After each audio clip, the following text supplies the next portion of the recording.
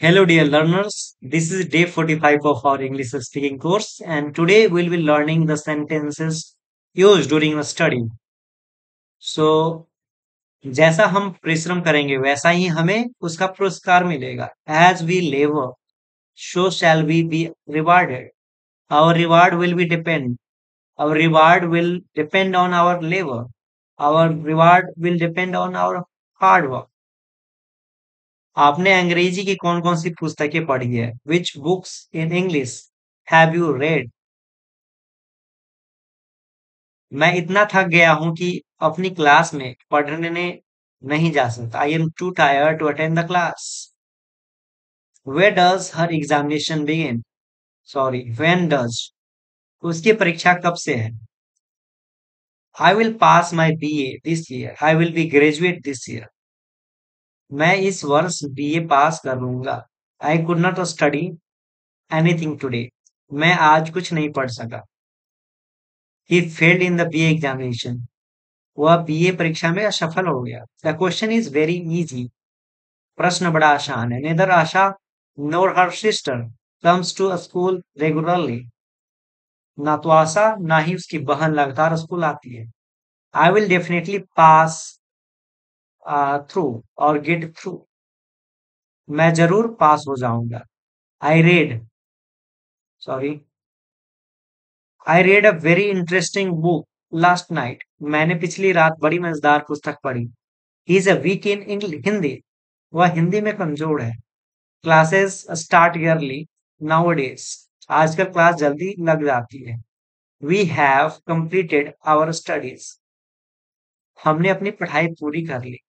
either you beg his pardon or pay the fine. तुम या तो उससे माफ़ी मांगो या फिर जुर्माना अदा करो he does not know any thing उसे कुछ नहीं आता she has been absent since she has been absent since Wednesday वह बुधवार से हाजिर नहीं था I had no time to finish my walk मेरे पास अपना काम कर, पूरा करने का समय नहीं था। इसका अर्थ क्या है? वॉट डज इट मीन वह अच्छी तरह मन लगाकर पढ़ती है। She takes keen interest in her studies the student will now the student will know the result tomorrow student को रिज़ल्ट कल पता चलेगा। You have pass the examination तुम परीक्षा में पास हो गए। Why don't you let me read? तुम आ, मुझे पढ़ने क्यों नहीं देते? If you pass your parents will be happy यदि तुम पास हुए तो तुम्हारे माता पिता खुश होंगे। I know how to speak English मैं अंग्रेज़ी बोलना जानती हूँ या मैं अंग्रेज़ी बोलना जानता हूँ। In which college are you तुम किस कॉलेज में पढ़ते हो? How are you getting on with your studies तुम्हारी पढ़ाई कैसी चल रही? है how your studies how your studies going on I have been in this college for two years मैं इस कॉलेज में दो साल से so the the best way to learn english is to practice. And uh, you can practice by pausing the video and uh, keep uh, repeating the sentences so that uh, you can learn it in a better way